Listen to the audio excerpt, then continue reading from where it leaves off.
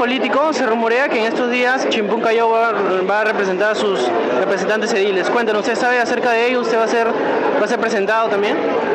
No, yo no sé qué, no sé qué rumor es ese. Esperamos que se presenten candidatos, ¿no? Y vamos a ver, eso lo decidirá pues la, eh, los dirigentes de Chimpún Callao, ¿no? Con respecto a... Hay rumores de que Adonec va a colocar paneles con, con, su foto de usted y la foto del candidato Eche de Bellavista y el candidato Morales de la Perla. ¿Conoce usted sobre eso? No, no, no, no, no, yo no, yo pertenezco a Adonec, o sea, yo ahora estoy libre e independiente por voluntad general de los pueblos, o sea que este, definitivamente no, no, no, no, no conozco el tema, no sé si Adonec ya ha eh, puesto mi foto, pero yo no pertenezco a Anet. ¿Usted descartaría alguna alianza con Adonec? Yo no descarto nada en este momento. Yo creo que en el mes de junio vamos a ver a la hora de inscripción de las candidaturas. En este momento estoy eh, recorriendo el país, he hecho eh, candidaturas a nivel nacional, ¿no?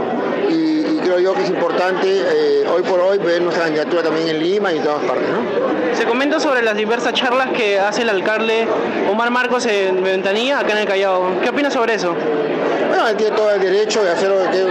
Miren, nosotros no ganamos ni, ni en junio ni en agosto, ganamos el 5 de octubre. Y el 5 de octubre se verán los toros, ¿no?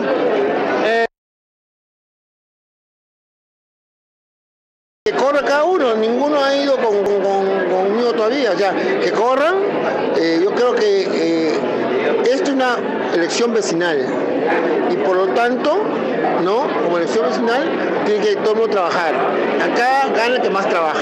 Unas últimas, últimas palabras para el pueblo chalaco.